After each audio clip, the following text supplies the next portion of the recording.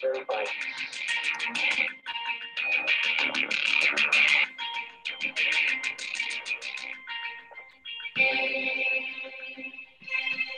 step off the limb now.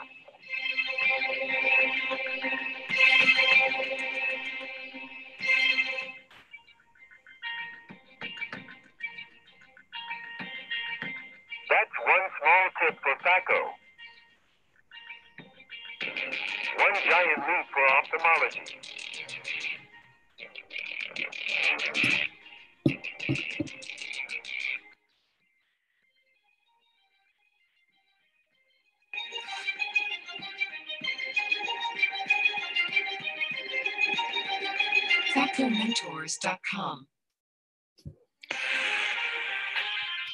Okay, so hi everybody, welcome.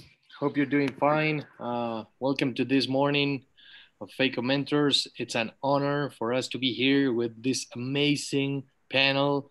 Dr. David Lockington from UK, Dr. Borja Salvador from the wonderful Barcelona, and Dr. Ishtiaque Anwar from Bangladesh. Thank you guys for being here with us. We already have one of our uh, amazing videos that Dr. Maria Belen Silva from Ecuador sent us.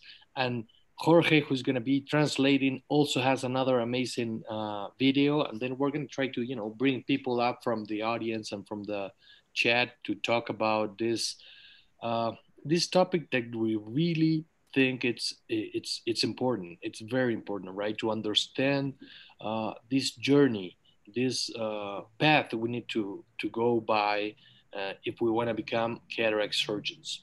So I'm going to start very quick, um, sharing my screen here, you know, and welcome everybody to the Phaco Mentors community. Let's see right here. Okay, and always with this with this quote, with this mantra, right? We are stronger together, and I think um, technology, you know, bring us closer the, the, after this COVID uh, epidemic. So we're gonna keep using technology to build this community, to make it stronger, and and to be uh, closer together. So we're gonna start asking people where they're from. Uh, we have a lot of people from from our community. You know, we have, as we're gonna tell you, we're using even WhatsApp to to be in touch. Uh, we have Dr. Julio Atencio from Medellin, Colombia. We're gonna put him in the panel as well. He has um, amazing concepts to share with us. Dr. Felipe Berta from Uruguay, welcome guys. Uh, Norca from Peru. Oh, Norca, is it's great to have you here. We had you like uh, on Saturday doing amazing questions about uh, about what we talk, right? About how, how we can organize to have better businesses and better clinics. Uh, Luis Lagos from Honduras. Oh, so I love this, right? Because the country, the world actually makes it becomes small because we have people from from everybody from everywhere sorry. Okay so this is how the phacomentors.com um, homepage looks like and we encourage you you know to go to the um, homepage to go to social media to follow us there to give us uh, good um, videos so we can share with the entire community. And we're going to start the, this virtual class by expanding our comfort zone. I think uh, you know, you can find so many talks and so many classes about how to do a capsular rhexis. But today we're going to do something different. We're going to see this journey from outside, right? I want I want Borja to tell me how was the journey to become a cataract surgeon. How how can you know learn from him to do it more efficiently now that there's many people from the community who are who are starting and learning. Uh, we we encourage you guys to follow up, follow us in social media. As you guys know, you know Facebook, Twitter, Instagram, our communication channel. So please follow us there. The YouTube channel that is right here. You know we already have amazing videos. Dr. Yamane was kind enough to give us uh, a video that's it's only in Phaco Mentors. Uh, Dr. Uh, Takashi Nakano from Brazil as well. Dr. Jackie Bells from um, from Australia. So again, this is very important, guys. Uh, we will love to have videos from you, short videos, but they are powerful and they learn, they teach us a lot. Um, also, remember those who are not in the WhatsApp group from Phaco Mentors, you just you know grab your phone, take a picture here, and you will automatically automatically go into the WhatsApp group. Um, then um, this is uh, we're, we're doing this in, in, in, English as well.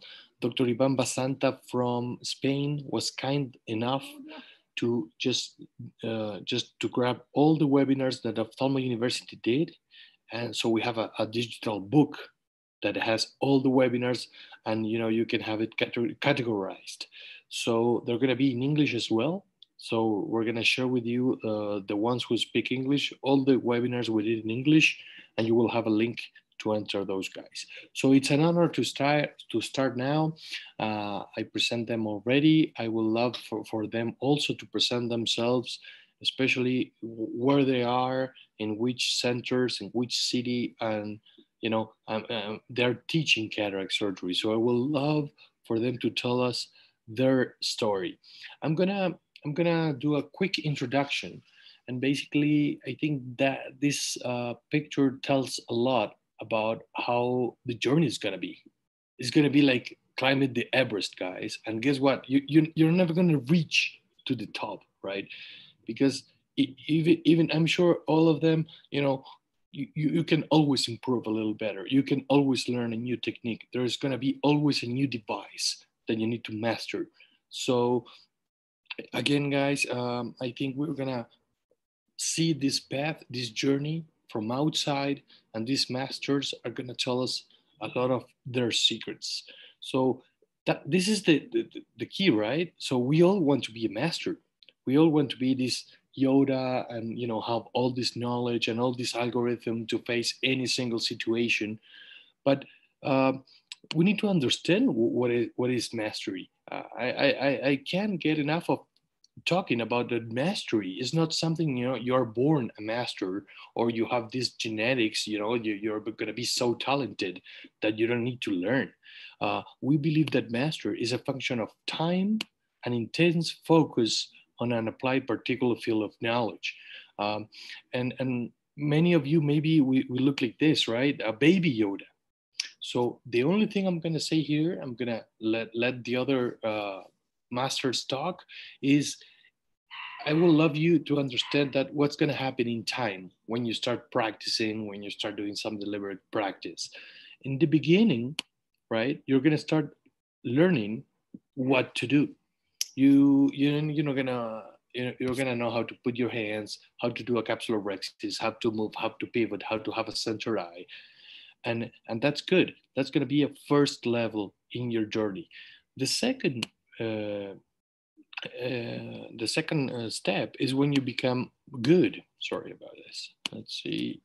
Oh, here. It's when you become good and you start having acceptable outcomes in normal eyes. Then is when you can become great, right? You have repeatability every time you do um, uh, a phaco surgery, you know, you're going to have the same outcomes, the same size of the capsulorhexis. You're going to face complex cases. You're going to face complications. And then mastery, in my opinion, is when you get, when you have creativity and you can be a mentor for other people. Uh, especially you can, you know, uh, uh, design new devices, new techniques. So this is how the journey looks like in, in my humble opinion. So I would love for the panel, you know, to tell us secrets, how we can make this more efficient. Uh, the four tips I like is to have goals. You really need to say, okay, uh, you know, I have a goal that in three months I'm going to do this and I'm going to do that.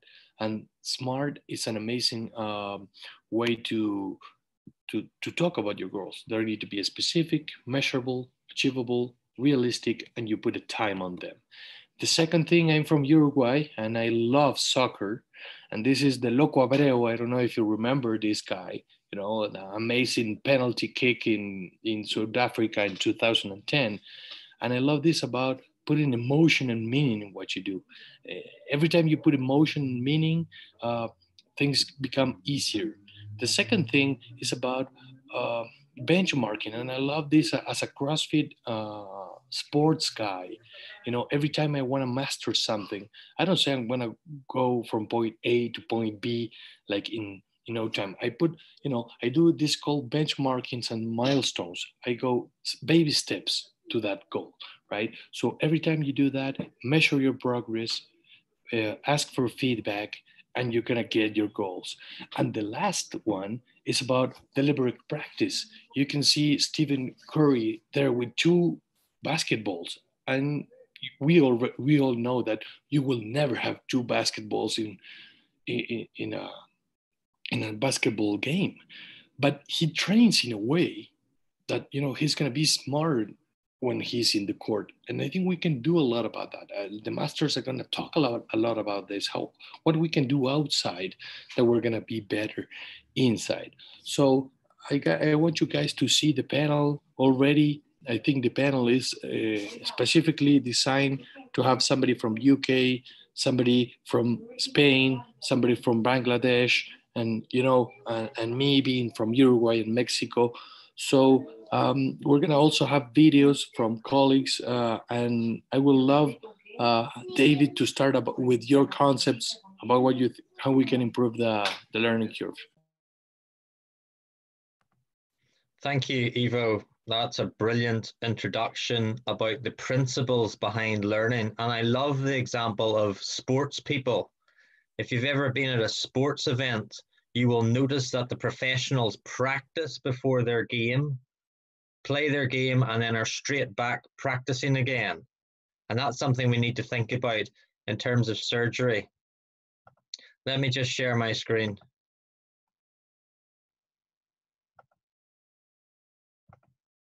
Okay, so I became a consultant in 2013. And as part of that, I had a brand new theatre suite open for me, brand new equipment, brand new clinics, and it was amazing.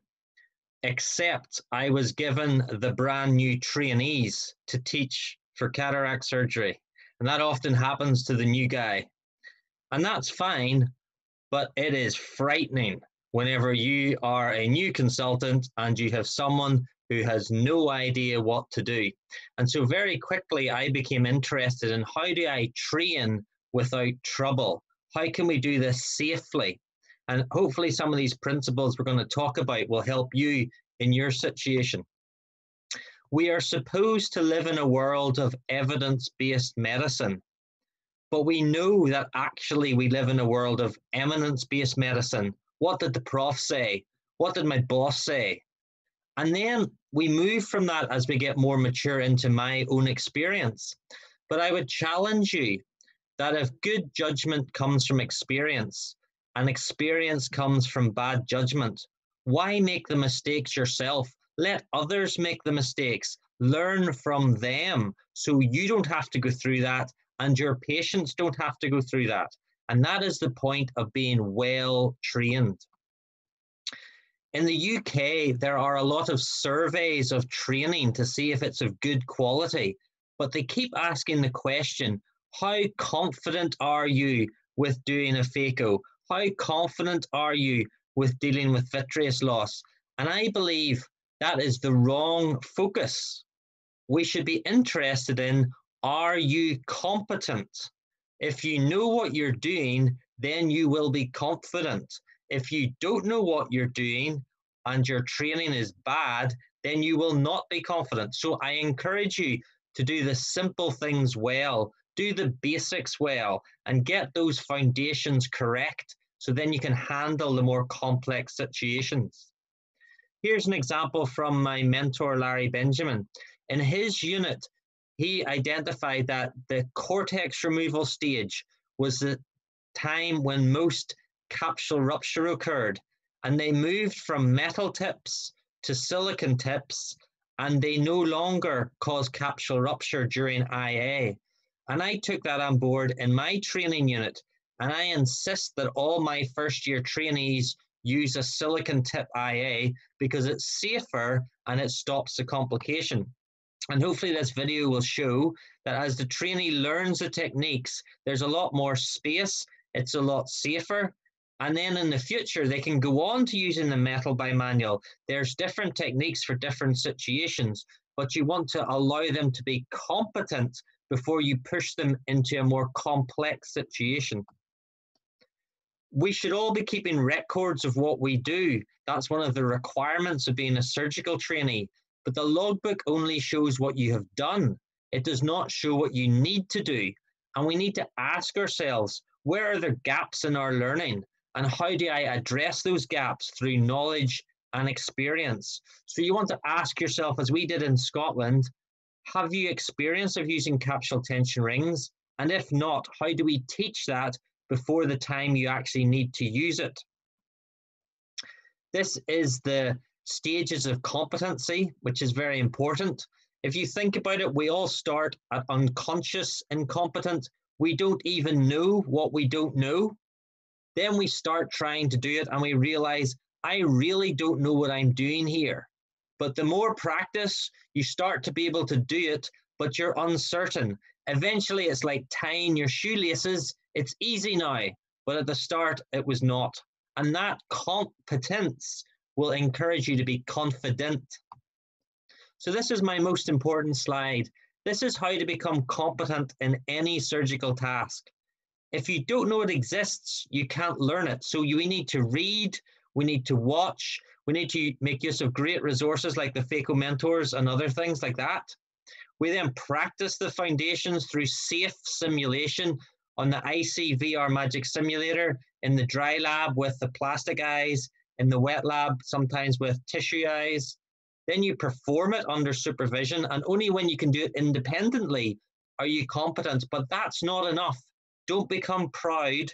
Don't become arrogant. Record everything, review and refine your surgeries to improve your skills. So here's an example of simulation.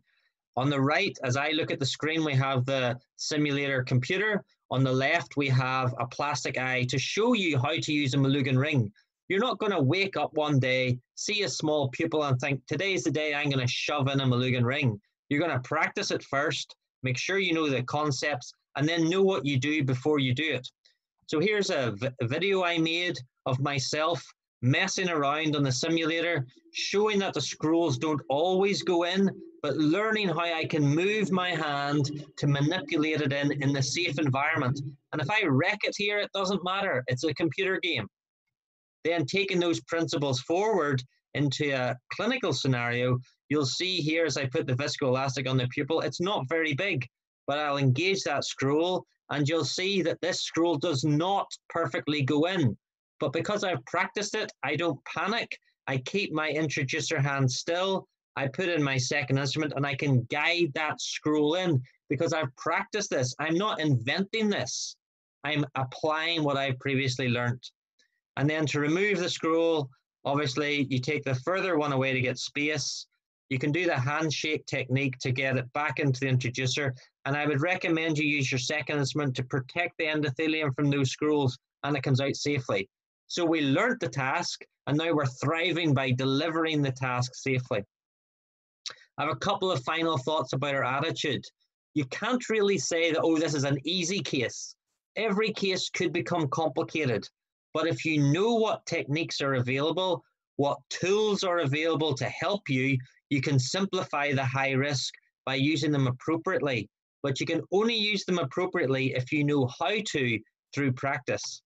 And so I would encourage you don't be arrogant. You can only say a case is simple when it's been completed safely. We all need to learn. And if we have the default attitude, this could go wrong, then we'll be prepared to address those. And hopefully it won't go wrong. Hopefully it'll go brilliantly but you're prepared to get the patient the best outcome. So thank you very much. Thank you, as always, David. Amazing concepts, very clear, uh, and you know a lot to learn from them. Um, we have people now, if we think about it, from Latin America. We have people from Europe. We have a lot of people from Asia, from Bangladesh, and for example, Dr. Kostkova from Macedonia. So everybody has a different uh, reality. And we're gonna ask the audience the first questions that we have. Uh, and it's, it's a tricky questions because it's the questions we always, we always ask. It's how many, or which is the number of cataract surgery you perform during residency. Because we tend to, you know, always think about this number as the most important thing in residency, right? How many cataracts did you do? We don't ask, did you learn or did you or, or did, did you not learn? But and the second question, it, it's it's about to, to to make you you know think a little bit about which are the most important aspects in your learning curve. Is is it a good mentor? Is it the number, or is it, for example, good equipment to do the, uh, the, those questions? So. Uh, when we're just analyzing what people think, we have doc Maria Belen Silva from Ecuador, that actually we had an amazing, um, you know, um, relationship from the past uh, three or four months. Always, you know, talking about her learning experience. She's in an amazing learning curve and learning very, very fast. And she was kind enough to send us, uh, you know, uh, a video and it's a slide, and she's going to talk about her journey. So, Doctora, Doctora Silva, welcome you're mute. You're mute.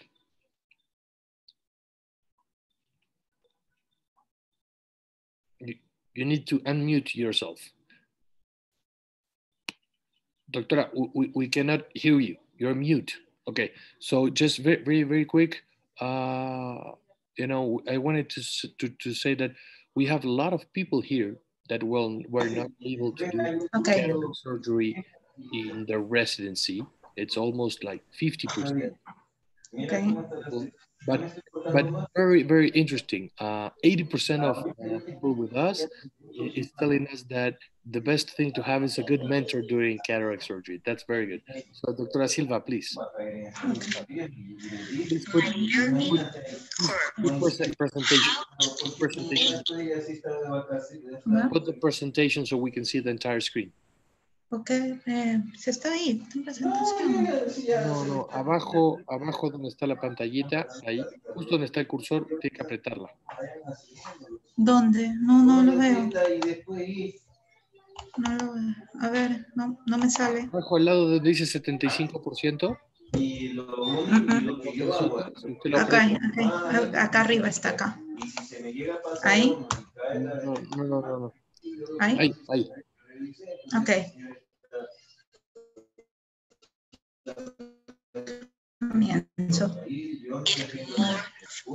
How to make it more efficient.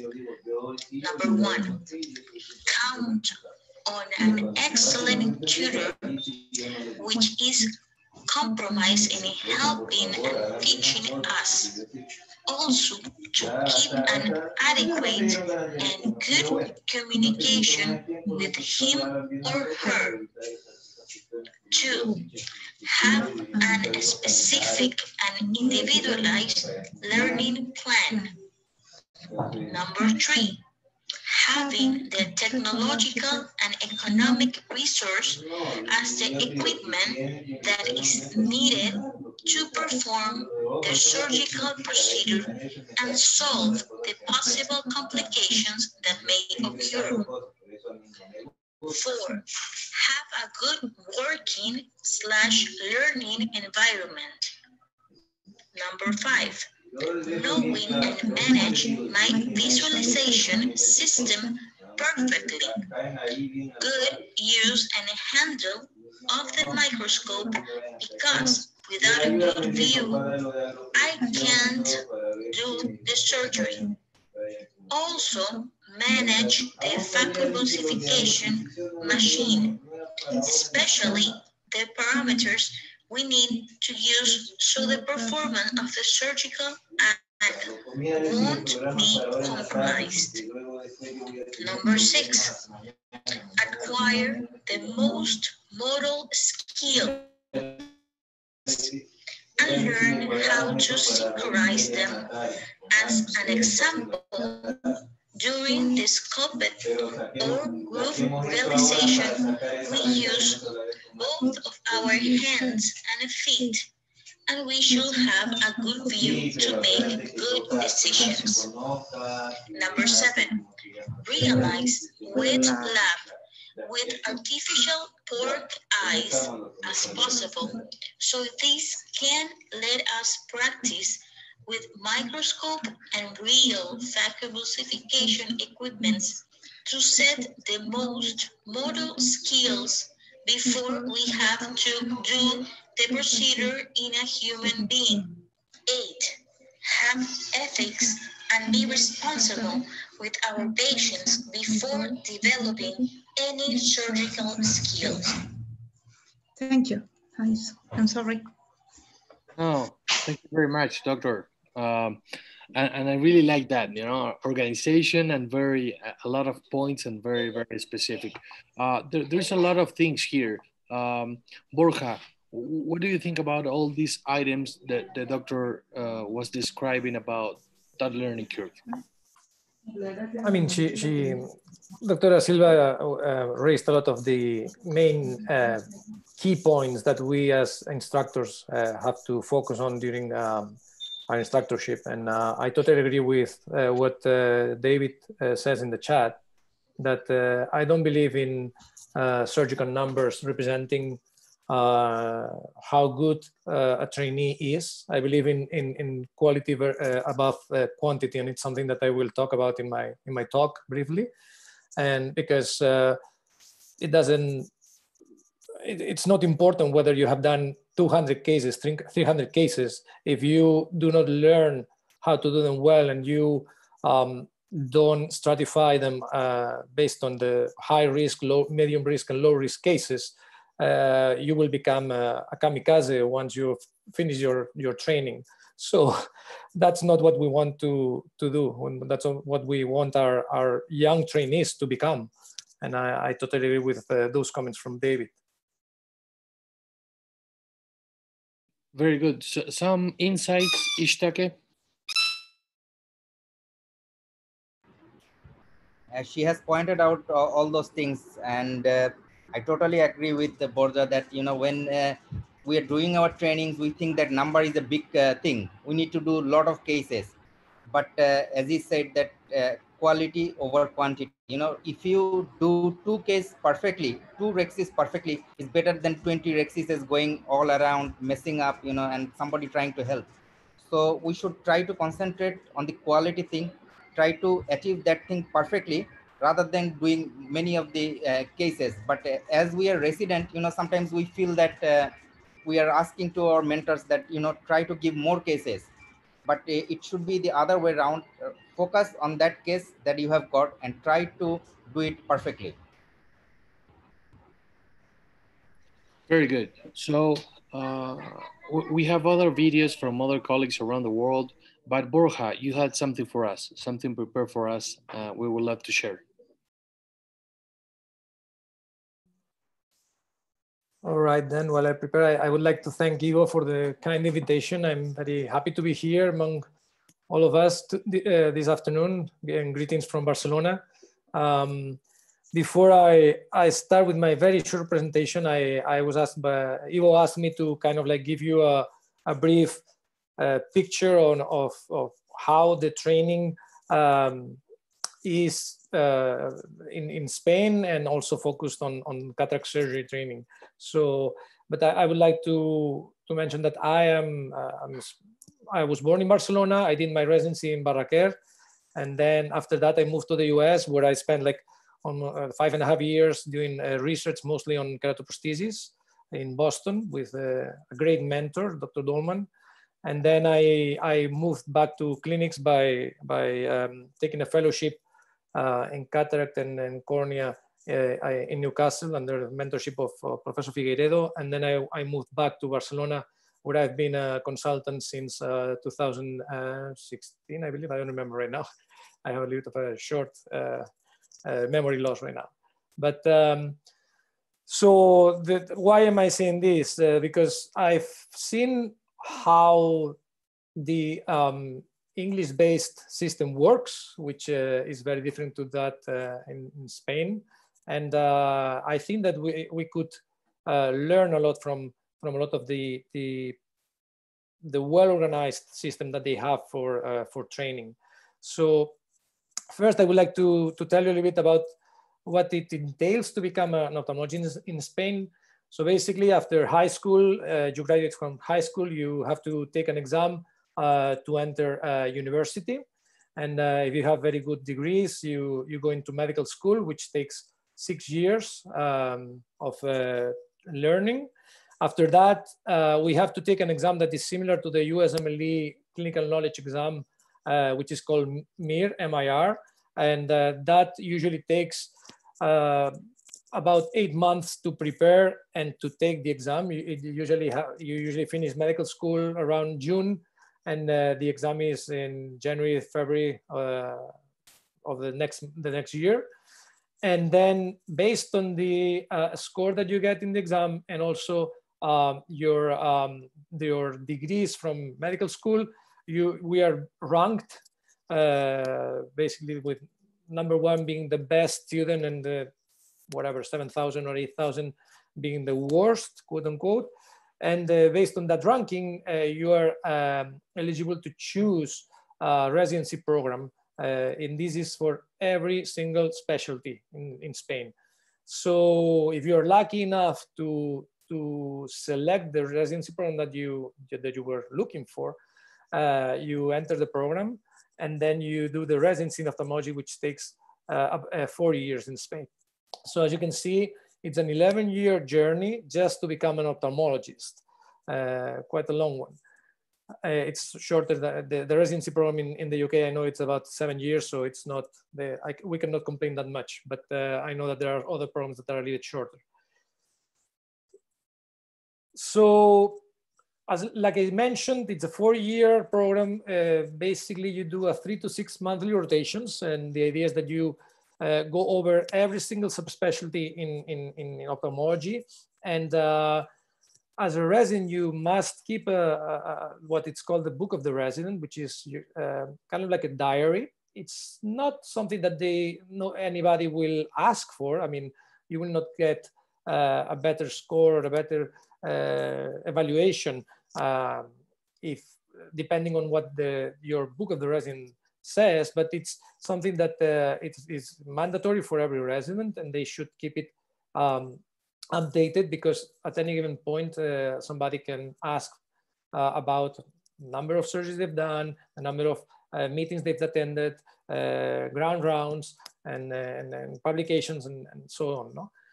The, the, every resident has a tutor uh, a tutor throughout the, the four years that uh, basically provides with guidance and help, especially when um, as a young trainee, you're facing uh, problems with, they can be personal problems, uh, they can be um, training problems. They can be problems with your own boss, with your um, uh, consultant. And uh, so you have this person who's supposed to be objective and, and, and, and looking things from outside uh, who's supposed to guide you and help you in, in those difficult situation, the situations.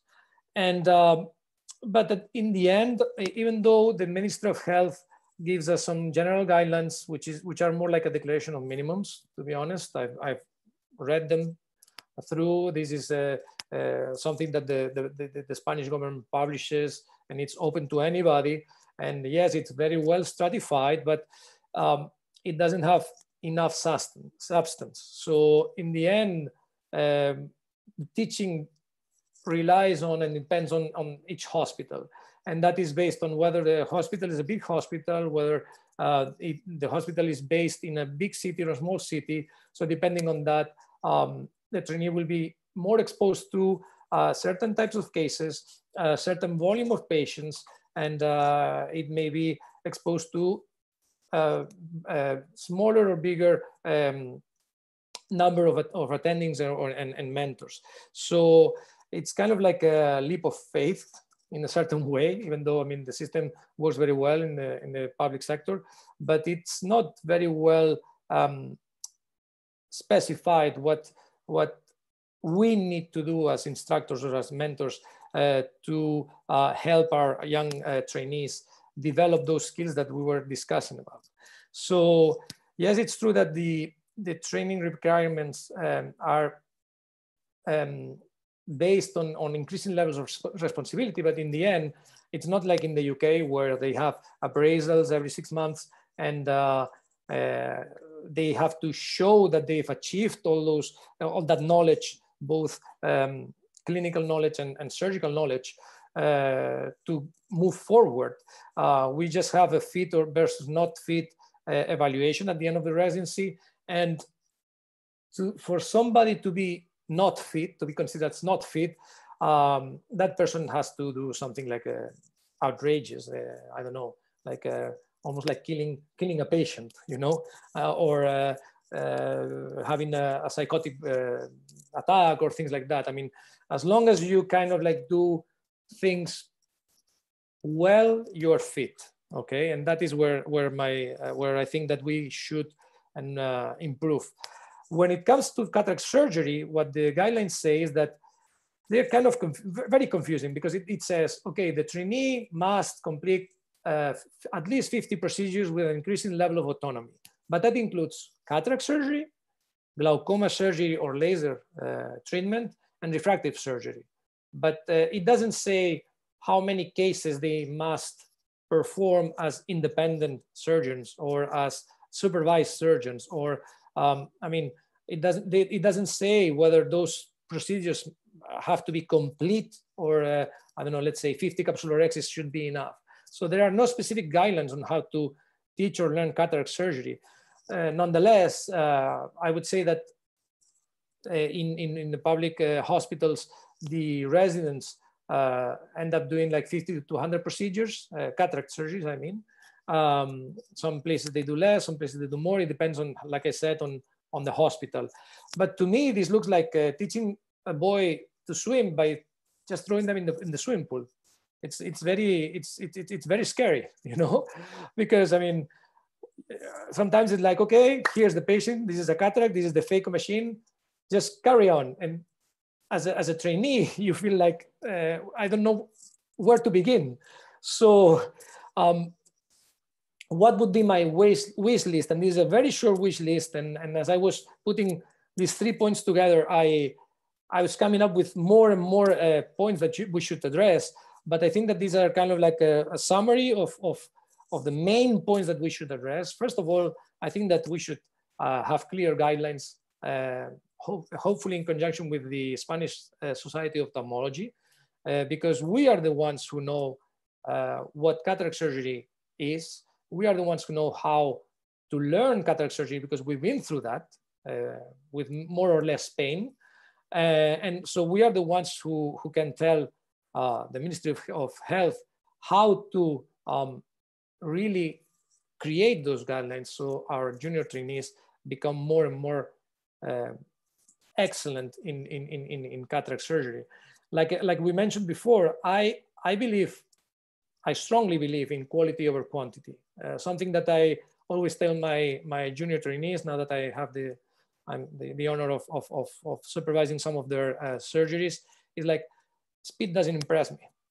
I mean, I uh, there, there's this like fight about, oh, I can do a cataract uh, case in 10 minutes. Oh, I can do it in seven minutes. I can do it in six minutes. Yes, it is true that very experienced surgeons can perform a cataract surgery safely in a very short period of time, but you cannot, you cannot expect that from the get-go. This is about basically volume, numbers, and knowing, first of all, what you have to do and optimizing those, those steps. So um, I always tell them, look, I just want you to do, to take one step at a time, always think why and how and uh, you are doing that step and I don't care about uh, whether you, it takes like 45 minutes, the first cataract or, or 60 minutes. I remember my first case when I was a resident, I think it took me like over an hour.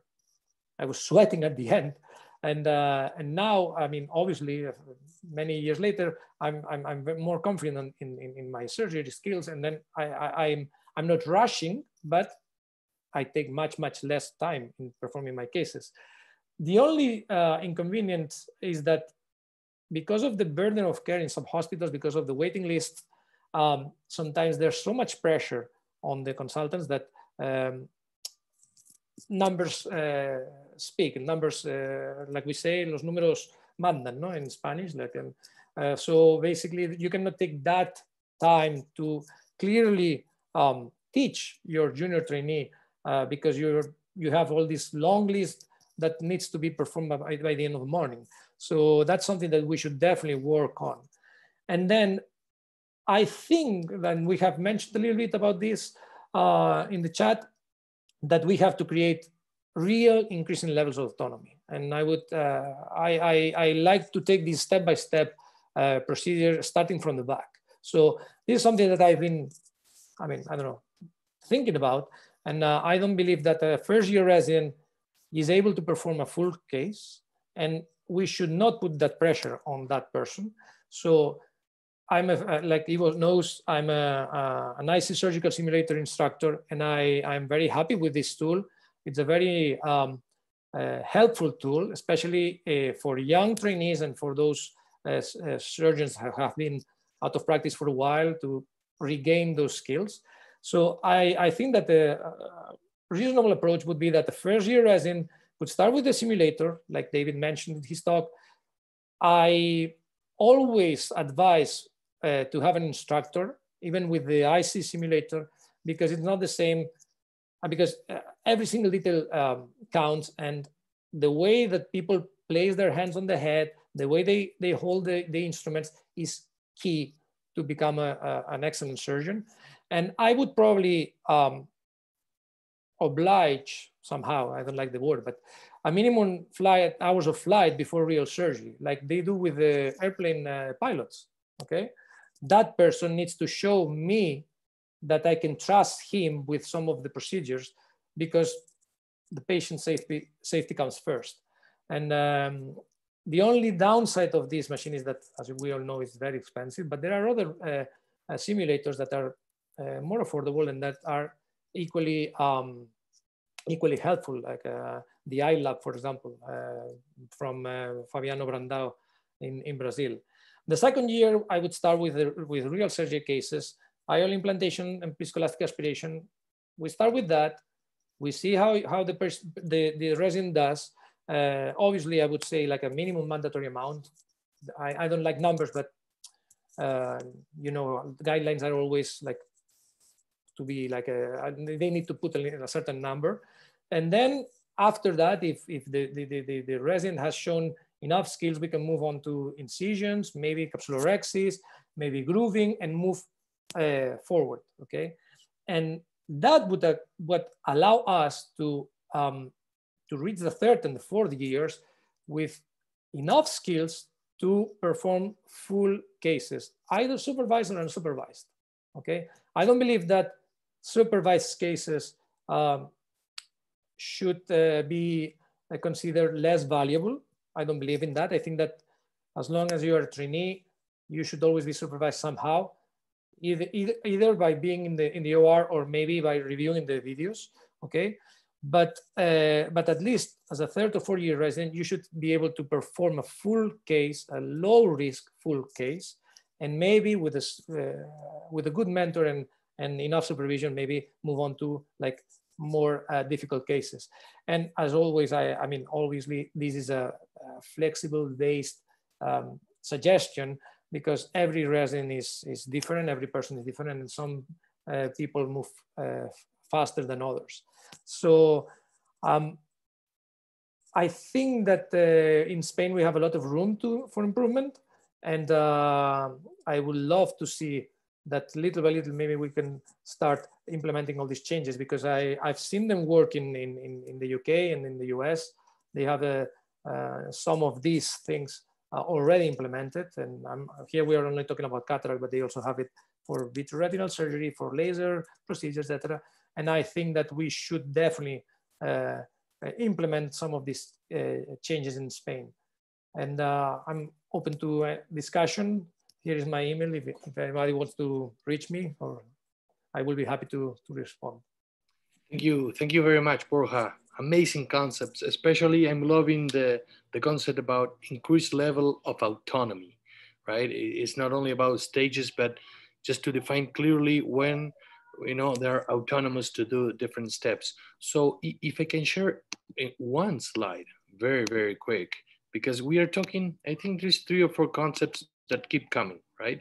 And uh, you were talking about the, the, the magic number. And in the us as you, as you can see there you have a certification um, organization. It's called like this.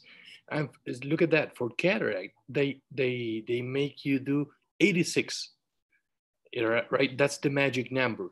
And my humble opinion is with 86 cataracts, maybe you are competent, but there is no way you are, you are a, a cataract surgeon. I, am pretty sure every, everybody agrees. And I will love, especially because we keep coming back to the UK, David.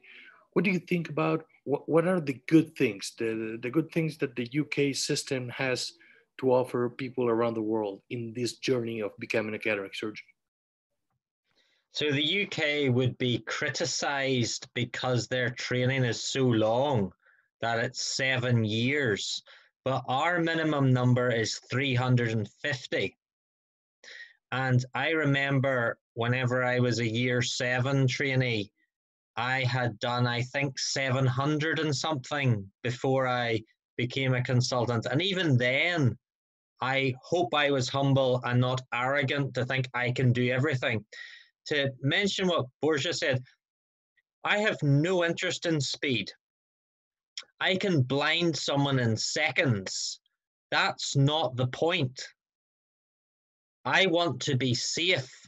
And if you're not safe, it will take far longer to sort out the complication than doing things slowly and safely. And I would encourage the juniors in particular if you get the basics done well, don't worry about your numbers. Your numbers will eventually take care of themselves. Very, very interesting. We have amazing concepts here because I think th- th- there is a second concept where we, we just keep coming and it's about mentorship, you know, and it's about the, the, name of this organization. And the first question we did, right? Mentorship and the power of mentorship Doctora uh, Kosto, Kostokovska, sorry for, for, you know, it's, it's hard for us to, to pronounce, uh, Bilhana Koskova, uh, she's telling us about having even more than one mentor. And I think that's, that's something very actual, right? Because now with technology and all these videos and all these communities, you can actually have one more than one mentor and you can see videos and learn from many people. I think that's very powerful. What do you think, Ishtiaque, about that? I actually think that uh, you know seeing uh, I will be talking on this uh, in my talk that uh, I Perfect. prefer to have I prefer to have uh, uh, you know more, more than one or two views rather than having a single mentor. That you you can see couple of surgeons like David would do something separately you are going to do something separately. I might not do you know in your way so i have to see all these things try all these things and then find out which works best in my hand so i would prefer that you know you have uh, more than one mentor seeing you overseeing you at least and you also have the same opportunity great so we're gonna go we're gonna go to a video from the dr sharifa Shan. can i yes. can i add something about this sure. very briefly I, I, I, totally agree with having more than one mentors being uh, one mentor being uh, an advantage. Actually, I mean, I always tell my fellow, my young trainees that they should learn the technique that the, the, the, consultant they are with or the mentor they're with uh, knows because you never know when you're going to use it. Uh, I, I had never even heard about Simcoe until I, I arrived in Newcastle. My consultant was using Simcoe to remove the, the cortex. And uh, it was very tricky for me at the beginning, but then moving forward, like a, uh, two or three years later, I had a, a, a case of a cornea transplant with um, um, cataract uh, extraction, and uh, I, it, the phaco machine was not working, so I had to, to use something to remove the cortex, and I, I used the Simcoe. If I hadn't learned that technique from my time in Newcastle, I would have never been able to remove all the cortex in that case. So I think that you can always learn from every one of your mentors and having more than one is, is, is, is a plus. Perfect. No, I agree 100%. I think that that's to be open-minded is going to make this journey so so much easier. You can have so many different resources to face the sim, uh, a single uh, problem. So, Dr. Sharifa Shan, me too. Are you here with us? We will love. Hi. Hi. Welcome. Good thank evening. you for thank you for your video. Welcome. Thank you. So I'm sharing now my screen.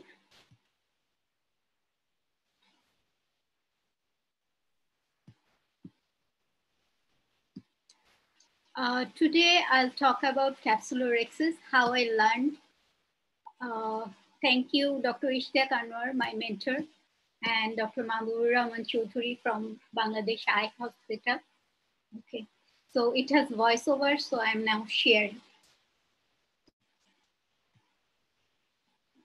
Central circular curvilinear capsulorhexis leaves the signature mark of a phacosurgeon in a patient's eye. The pearl of an ideal capsulorhexis is creation of a flap, keeping it flat always. Use of the cohesive when needed to maintain the anterior chamber pressure, pulling, and the smooth transition at the so that we can get a beautiful rhexis. It's very easy to get extended rhexis. We have to stop there change the direction of the flap inward, then pull the edge towards the center. Once the direction is changed, then we can do the rest with usual fashion.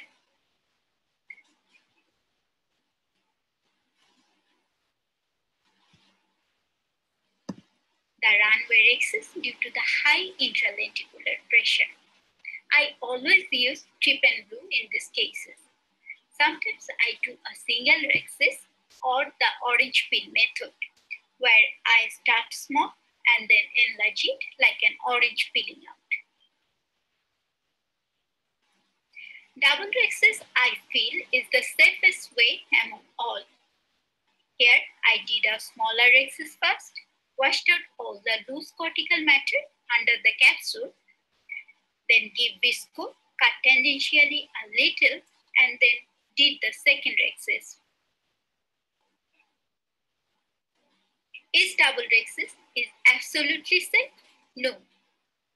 Here my rhexis got extended and I cut it from the opposite side and made an adequate size rhexis at the end. Small people, a continuous capsulorhexis is the prerequisite. In a very small people, tangential pulling of the flap plays a pivotal role along with the judicious use of the cohesives. But every time I cannot be fortunate enough.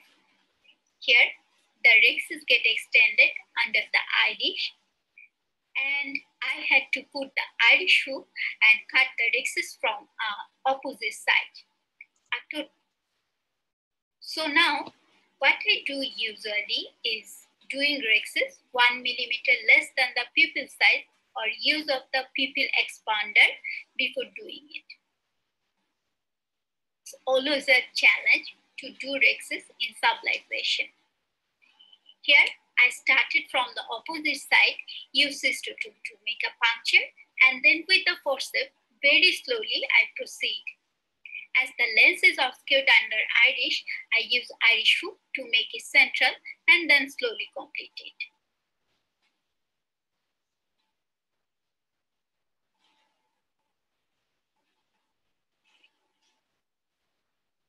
At pounds, as it bears the flag of my creativity.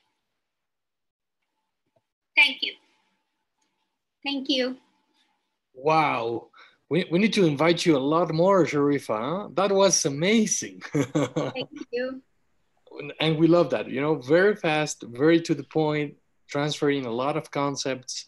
And we, we also have here uh, another friend from, from the community, Dr. Julio Atencio, is now a, a, cataract surgeon, a very good cataract surgeon. Actually, he did uh, live surgery a couple of weeks ago. You can go and he did live surgery via Zoom. So imagine what is to, to do that, right? L- like live surgery, and there's so many people watching you, and you know he was so calm already. But he had something very interesting. He had many mentors, and he he, he just kept going. And you know he would go to Costa Rica to learn from somebody. He would go to Barranquilla to learn from somebody else, and it's a very open-minded surgeon who always wants to learn. Julio, what do you have here for us? Okay, uh, greetings from from Medellin.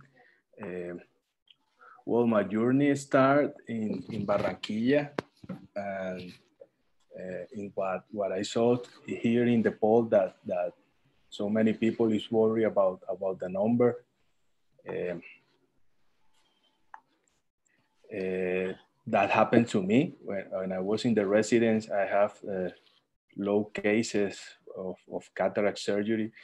So I decided to, to, to look for a, for a place when I can learn uh, more about it. So I have the opportunity to be in Costa Rica with, with Dr. Flikier and in the San, San Juan de Dios Hospital in San Jose. So that's where I start my learning curve in, in extra cap. Uh, it, it was in my second year and then uh,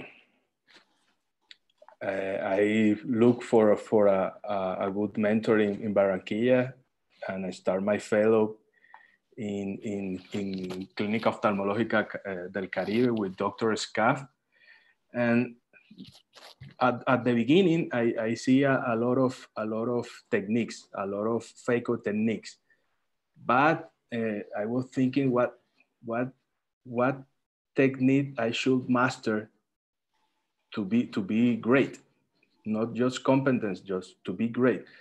So when when they teach me the the ultra chopper technique, uh, it was a, a, mind changer. So I said, uh, this is this is the one, and and I have right now 10 years of experience, and I use the ultra chopper in 95 percent of my cases so every time I do, I I pull the details. Uh, I, I, more more redefine the technique, uh, and and I, as every every uh, fellow, I start with low risk cases and move forward, and and do and perform complex cases, and and since I I I left the the fellow uh, I, I, don't perform extra cap. I always use the ultra chopper and, and, and get the goal uh, to perform the surgery with phaco. And I, I have some mentor here in Medellin when I was the, when I went in my first year of working here, and, and she said to me in a in a, a tech talk, and she told me everything you can perform with phaco. So I said, wow, wow, wow because right now the the extra cap is is uh, you you need to perform in some cases. But he told me that everything goes. You can do it with phaco. So I said, oh, how can I achieve it? And it, for me, it's a reality. I start using in all my cases the ultra chopper, mastering the technique.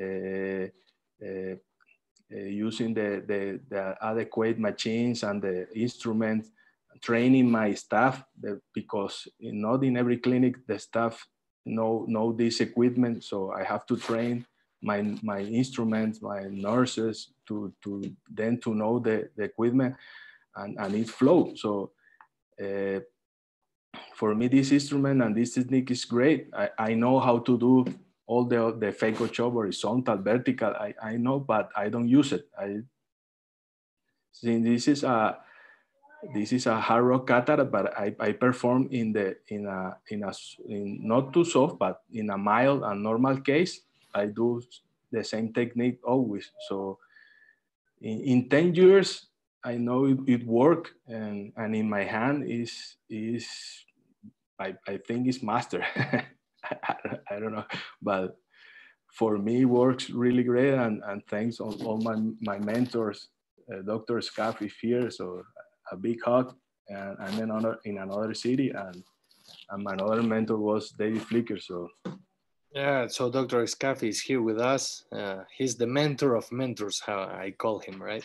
Uh, and Julio, but that, that was interesting. So you you went around, you had many mentors, but then you kept one technique, and that, that's that's something I think very interesting that we, we should talk about uh, right right now in the future. So right now, Dr. Ishtiaque Anwar has a presentation for us, but before he starts, we have another question for the audience. So then again, uh, we want this to be a community. We want that chat to be on fire, asking questions. Tell us, tell us about your experience. We want to know because you know, uh, Dr. Borja was talking about the increases, increased levels of autonomy, and we did talk a little bit about artificialized simulation, virtual simulation. So we want to know if you have access uh, to, to this kind of tools, right? Virtual simulation, artificial eyes, pig eyes, because I, I love the, the pool, uh, the pool slide, right, Borja? It's like, because that happened to me, I have to be honest. Uh, like I did a little bit wet lab, but then one, one time they said, okay, that's a cataract, just go for it. You know, you sit there and you learn. And I was like paralyzed, completely paralyzed. So um, let's see what people think and Ishtiaque, you can you can get ready for your presentation. You can share your screen. Ready, whenever then you can. let, we, we can see if people have some resources. Should I start sharing my Yes, screen? yes, yes. Let, us see the, the results, Lisandro, if, Yeah. if they're able. Please, everybody, just rush to to answer that questions and let's see. Okay, so you know, interesting. There is uh, 40% uh, of people here that have uh, access to a virtual simulator. That's good. Six, 60% they don't. Uh, there is kind of interesting. Um, there, there is 60% access to pig eyes, but but like 50-50 to artificial eyes. So I think that these are good insights that we're gonna talk uh, now when you when you end your presentation, Ishtiaque. Yeah, I would love to also hear that if uh, there was any percentage that did not have access to any of these, you know, whether simulator or um, uh, animal eyes. So can you see my screen, Ivo? Perfectly, perfect. Okay. Uh, thank you, Ivo, for the invitation. And uh, I wish we had this sort of session when we were learning. So this is going to be something like a philosophical thought rather than, uh, you know, what to do. So journey to surgical excellence. This is our aim whenever we are starting uh, our uh, training. And we know that ophthalmology is basically a surgical part is so much involved and we want to be, you know, up there. We see all our mentors doing so nice surgery and we always dream that, you know, how we can become a surgeon like them when we can do a rhexis perfectly like uh, our teachers are doing. And a couple of things i want to say that you know information is one thing that we have to be looking for. Information regarding many things you know. First i would say that where you want to take up your training like if i say for myself that uh, when i was uh, doing my training 15 years back in our country we did not have many centers that had the opportunity you know had um, audio visual system. So i have given up two years of my life uh, doing fellowship in another country you know letting my family and uh, so it was my dream and i was just chasing it. So we have to have information that where we are going to have um, good training where we can find a good uh, mentor who is going to be beside uh, the trainee and uh, I was very lucky. I was trained by Dr. Vasavada. He used to always stand by us. You know, his own patient we were operating.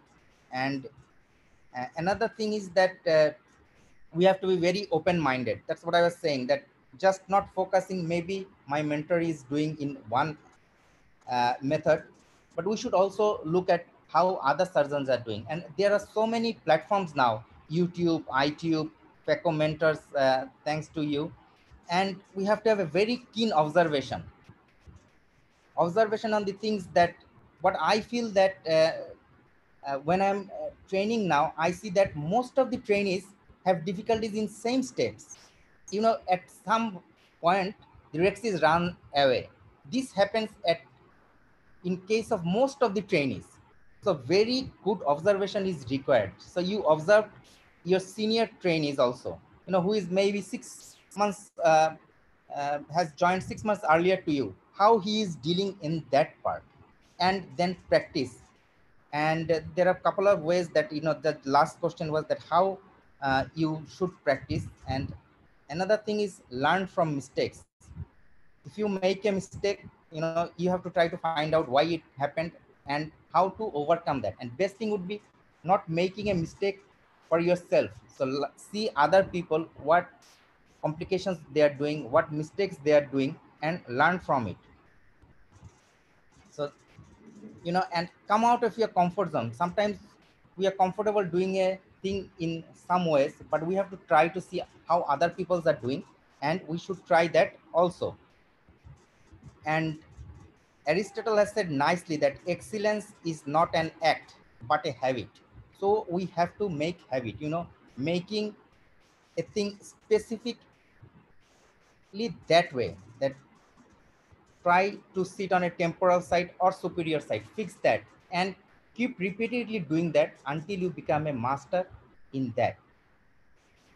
So, you know, keep on trying and uh, like uh, your part in USA or UK, we here in Asia uh, don't have the virtual simulators. So we are mainly dependent on our animal friends, you know, try this, go in the wet lab and before you do something on human eyes, practice. And when you are confident that you can do it in a goat eye, then you start doing in a human eye. And also I would say that doing it step by step. You know, sometimes what happened when we were uh, doing our uh, residency, we used to get, you know, maybe one case in a week. And we had the pressure that one, you have to finish that case. I totally did not agree with that, but rather we should be given step by step. So first you give incision. Once you are confident in incision, you move on to rhexis. Then go step by step. So that when you are doing rhexis, you should be only concentrating on that. So the steps before that you have mastered and you don't need any help in that. Okay, you were with this, I would end actually. I would stop sharing this thing. Thank you very much, Ishtiaque. Also amazing concepts. We have a, another video from a colleague from Argentina. So as you can see, you know, we have people from everywhere. Uh, the key here is to understand that this journey is different depending where you're from. It could be a long journey, but with 700 cataracts for David. It could be a short one, but we know what 40, 50 for, for us. So, you know, we actually want here to, to, to get to conclusions or to principles of what works and uh, how we can do it faster and, and, you know, more efficiently. Mauro, it's, it's great to have you here. So we will love to, to hear about your journey becoming a cataract surgeon. Hello, everybody. Well, I am Mauro Panichelli from Argentina so I, I, don't want to make a master class because I, I, I, saw very good videos from the audience. What I want to share is my lead experience and what changed my mind and what changed my, my way to see how to learn uh, cataract surgery. Uh, I have the lucky to, to spend a, a little time with Ivo uh, in Mexico City and make a lot of simu simulation, a lot of artificial eyes and pig eyes. And what I learned, it's, uh, I, I thought that the only way to uh, learn cataract surgery is one patient. And human eyes. And I, I can change that because when, when you use uh, simulation and artificial eyes, you are more confident with your technique. You can uh, improve your, your uh, abilities. So that's what, what I want to, to share with you. Thank you, thank you very much, Mauro. And we're gonna we're gonna talk about this because I remember when Borja came to me and present himself. You know, we were in Barcelona talking, and he said, you know, I, I, I have to be named Borja Isis Salvador because he loves simulation, right? So let, us talk a little bit about that. Um, let, us let's, let's see what, what you think about that, David, because you, you guys are doing a lot with simulation there. So I think simulation means safety. If you think of it was your relative and they're about to have an eye operation, and you say, This junior doctor who has not practiced this technique wants to put instruments inside your eye. That seems crazy. Change that conversation round. This junior doctor who has completed module A and B on the simulator, who has put 40 hours of work in, who has done 100 rexuses, is now going to do the stages of the operation which they are safe and trained to do. That's fine. And I agree with the comments earlier about you do it in a modular, repeating way.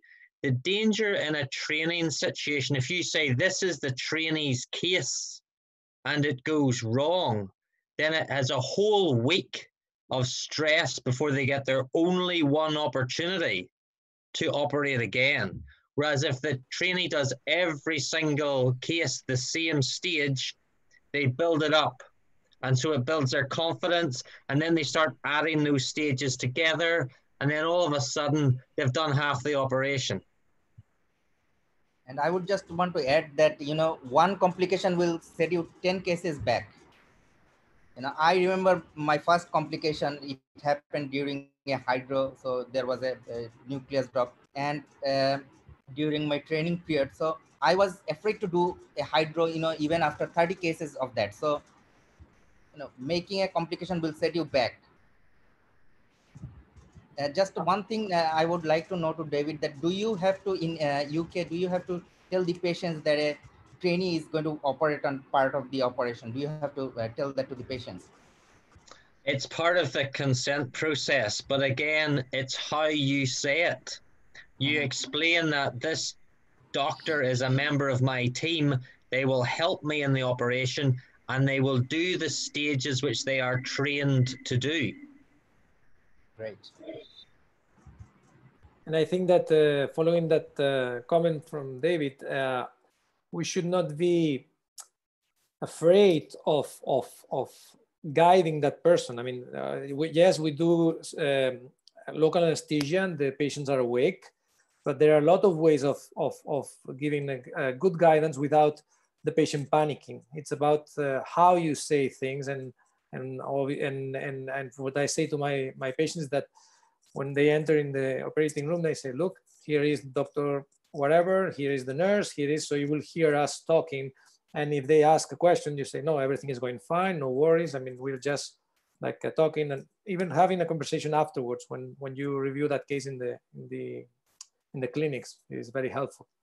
I would like to just add a, a very th uh, quick thing. I kind of like agree with Mauro with the fact that it is true that uh, there is no simulator that can uh, substitute real surgery, but I still, uh, I, I, strongly agree with what David said and what uh, uh, Dr. Anwer said about simulator equals safety, because whatever you do in the simulator in a safe environment, um, where, where, where you can get those skills uh, that will help you in real life. I mean, we're talking about three millimeters space uh, in which you have to be very fine. Your movements have to be very, very, very careful.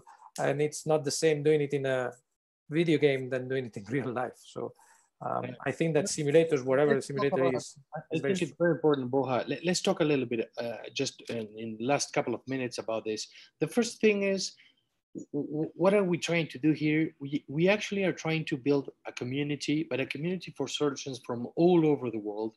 So we really want people from every single country tell us, telling us about their experience, about their journey, and how we can improve that. You know, right now, I mean, we can have David here. You know, has an amazing experience in, in a long uh, training system, but but very safe.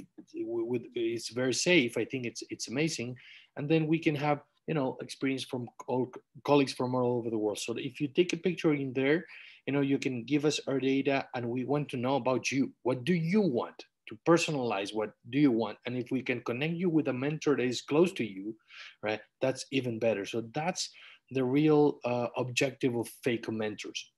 And you know, eh, to, to end, it, this is how my grandfather, who was a surgeon, learned, right? And really, I had to learn cataract surgery. I think it was kind of the same, uh, as was Borja was saying. Uh, I was pushing to the pool, right? And right now, I think you have a lot of uh, different tools. And look at that. That's that's how a, a, surgical ecosystem or a classroom looks like. Imagine you learning with a simulator, with a colleague next to you, you know, watching at you and giving you some tips, and a mentor walking around. I'm not telling you that you're, you're going to be a 100% cataract surgeon after this, but I can tell you that you will know what to do and what to expect, and you know uh, the ergonomics, how to put your hands. So I think there's an important uh, key here.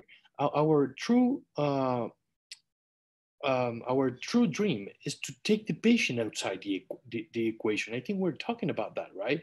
It's like, what if I can learn, but with the patient not being there? And then when I go to the patient, I know what to do. I'm prepared, right? Not only, and this is the important thing, not only my hands know what to do, but I also have the cognitive skills. I have the decision making and the problem solving skills for every single situation. We did we did one a couple of weeks weeks ago with with David about challenging cases and how to think in those cases. That was amazing, guys. If you didn't see it, go back and see it. And we're giving you experience. We, we can transfer experience, right? What to do. David said it, right? I, I love that. Let other people do mistakes. Learn from the mistakes, but from other people, not your own. I think that's that's very interesting. And Finally, we're going to do a little bit about this, about the mental preparation, the mindset skills, how you can be in the in a peak performance states every time you do surgery. We did we did even webinars about nutrition. Do you do, do you have a, the correct you know way to what to eat the day before and that morning when you're doing cataract cases? That's a, that's the real uh, objective with this community. Um, you know, uh, we don't have a relationship with the ICs, and we, we, we don't we don't. It's not about the machine, right? It's about what surrounds that machine, that that ecosystem, that mentor talking to you, you doing a capsulorhexis 50 times or what 100 until you get it right. So you're learning that by repetition and with objective feedback that's very important. There's some colleagues around the world now telling that they will warm up in simulation in order to be in a very good state for the first cases. Um, uh, this is something uh, that you know it was done in the UK by John Ferris. I think the the one who can really talk about this is David. Um, he knows about this research, and I think the numbers talk about you know the, the, themselves. What do you think about this research, David? Well, I'm slightly biased because I used some of my work to get his costs, but basically they looked at the complication rate in surgery by trainees in the first and second year and, and looked at the rate in those who had previous practice on a simulator versus those that didn't and showed that the complication rate was significantly less because the trainees knew what they were doing because of simulation. When you then put a price on that, it makes the simulator look much cheaper because you're not spending money to deal with the complication and the fallout. So I think it's the first time someone has showed that simulation is cost effective and helps the patient.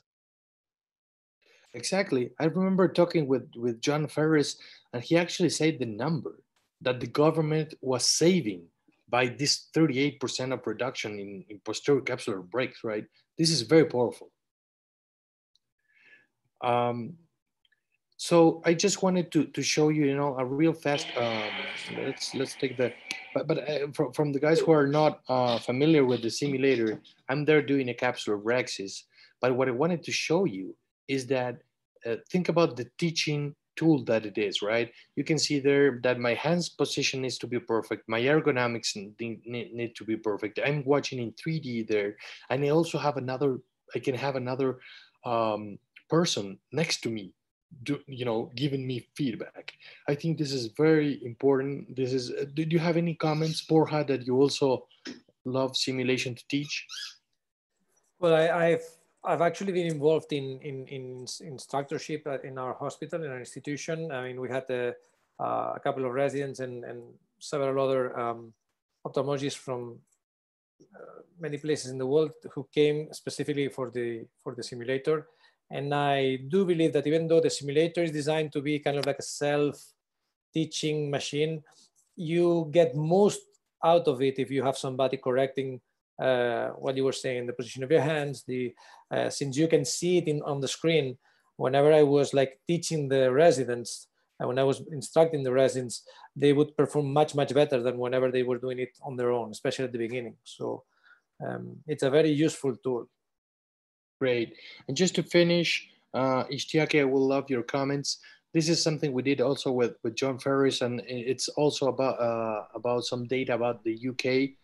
But we were talking about competency, right? We were talking about being a good surgeon and, you know, do a capsulorhexis, do a, uh, any technique to extract the nucleus. But about, what about complications? Do they, do they teach us to manage complications? Because I actually have seen fellows right? Like these guys that they give one year only for cataract surgery, and every time they have a complication, they will be removed because the, the, the, important thing is safety for the patient. So how do you learn or are you confident in doing anterior vitrectomy? What, what are your thoughts about that? Yeah, that's a very important thing because uh, in the learning process, you're going to make that. And if, if, every time you hand it over to your mentor to handle it, you're never going to learn it. So we have something uh, called Phaco development program in our center. Uh, this is a, uh, program uh, in six or seven countries that we have. And uh, after they complete the primary program, they are uh, put into this. So there will be drill. Uh, they will be knowing that how to do anterior vitrectomy, how to put a CTR with all this complication. And not only with the surgeons, this is, uh, you know, this is a holistic approach. So the OR people are also with them. So if it happens, they, they will know how to handle the machines, what instrument are needed, how to dilute the TA, everything. So it's very important that you also know and have a drill of that also. Not only the uh, routine things but after you are competent in that you know how you manage uh, the complications you should also learn it in the same way. Very very good one but but since you're talking about that i, I want you david again to talk about the fire drill concept that it's amazing. I think everybody who's here will, will need to know about this. Yeah so because our technology is now so good the complications get less and less. So everybody in the room doesn't know how to set up or practice of, to deal with vitreous loss. So we would recommend running a fire drill where you simulate it.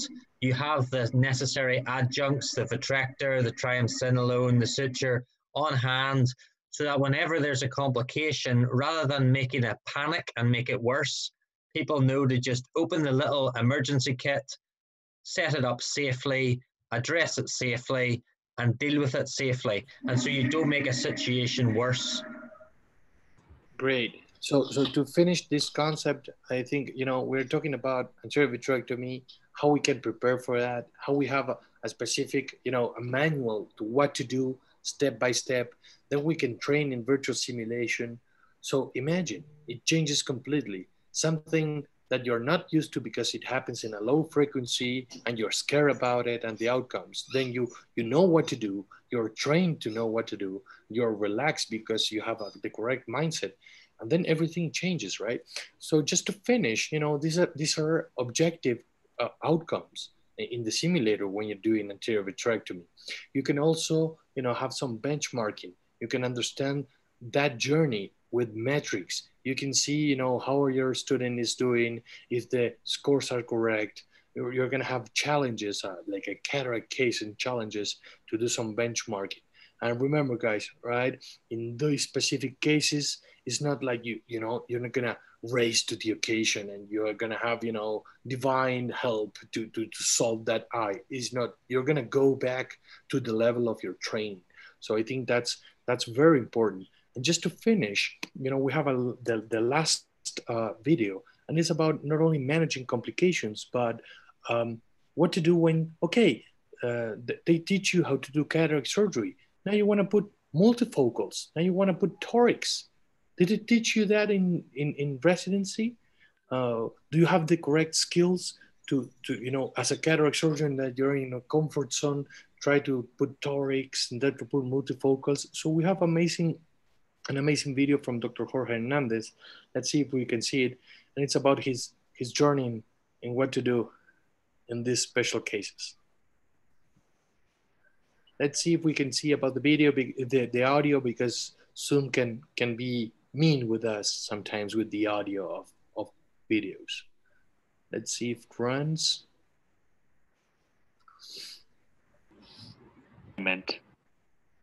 And technique. Here I'm going to try to share my journey on stigmatism. A long time ago, we used to do LRI, and they actually worked really well. Still do this sometimes. I was an early adapter of the toric IOL. It's not running. I'm uh, thinking measurement, think price. I'm telling you, Zoom needs to, you know, needs to learn a lot and will in the future. But always, you know, have some problems with videos. Let's see if it if it runs. But if, if it doesn't, we, we we could talk about the panel about that. You know, right? What do you do when you have new devices? What do you do when you have new techniques? When you need to put a toric IOL? Let's see there. Uh, no, it's a no go. And Jorge is here with us. He's translating. I'm gonna we're gonna try to to show that video probably in the future because there's always a problem with videos in Zoom. We, we knew that uh, since the beginning. So uh, again, let's let's see Borja. Uh, what do you do? Because you were, you know, doing like that with, with your head. You know, you need to learn torics. You need to lead. You need to lead about trifocals. What do you do? Uh, in my case, I I learned it. I learned briefly how to to uh, implant a toric IOL during my fellowship and the rest has been like a, kind of like a, during my clinical practice as, an, as a consultant. It's true that the first cases I was lucky enough to have a good mentor uh, who would pay attention to the very small details on how to mark the uh, where the, the, the axis of the of the toric IOL, and uh, I've been using those because they've been very very helpful to me. And uh, in the case of multifocals, it's basically I've learned uh, through experience and, and mostly through through meetings. I mean, uh, I've, I, listening to the experts is the is one a very very powerful tool to learn how to um, to put uh, multifocal IOLs in, in your patients.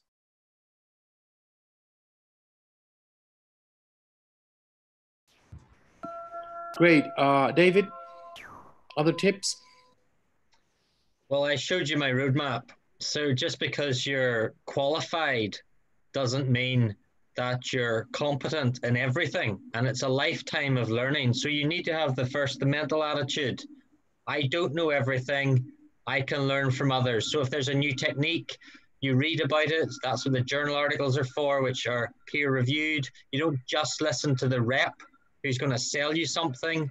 You watch a video. And when we're speaking about videos I'm less interested in perfect videos. I'm more interested in videos which weren't quite perfect to see what to do, which is why I showed you that Malyugin ring scroll not going in, because you want to learn from other people's experience.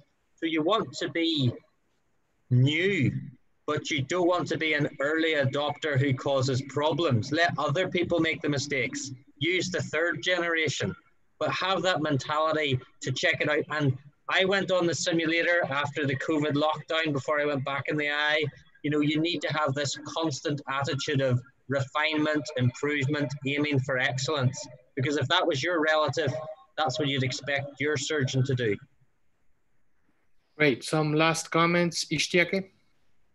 Yeah, perfectly. I would I would say that you know, I uh, watch other videos and uh, I could not agree more with David that uh, look out for the videos that you know they had problems and how they overcame as i was saying that you know mistakes are somehow i don't know repeatedly done so it's more like that you will have a face a problem in that step so watch that and uh, watch videos and uh, peer reviewed journals if you want to use something new Very good one. So everybody who, who is here with us, you know, remember phacomentors.com. That's the community present in all social media.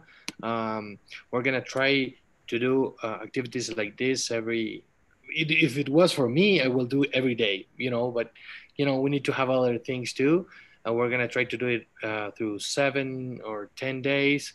So you know, uh, thank you. Mauro, Doctora Maria Belen, Sharifa, thank you for being here with us. You have any any last comments? Because I think the important here is I, I would like everybody in the panel to just say one thing that can improve um, the surgical journey for everybody who is watching here.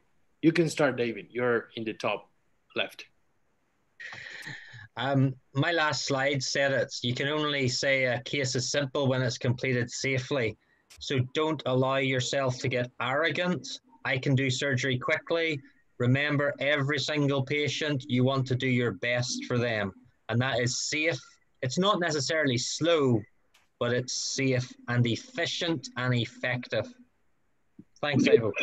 Thank you very much. Uh, Borja? I would say focus on quality uh, over quantity. Uh, numbers will come with experience, but uh, as long as you know how to do things with, with excellence, you will have uh, very, very um, low uh, rate complications. So quality over quantity. Thank you. Doctora Maria Belen, any last comments? No, she didn't listen. Mauro, you have any comments?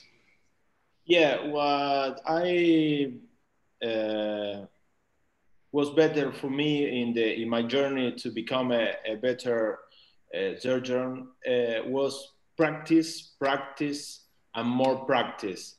And what gives you that? It's the the simulation and the and not to practice in a human eyes. I think that's the the the the, the goal and the what what can and we I said that we are very lucky because we have uh, the chance to become surgeons uh, with those possibilities that I think uh, a few decades uh, before we, we, we they don't want they don't have so I think that the simulation it's it's the a great uh, tool for for becoming a, a great surgeon.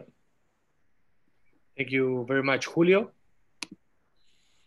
Uh, well, uh, a key point to to maximize your learning curve for me is is try to to record your surgeries and then go to your home and see what you do and and try to to pull the, the details uh, try to do better incisions. But you only you only get that if you record and then uh, looked uh, and the other day to know what you're doing.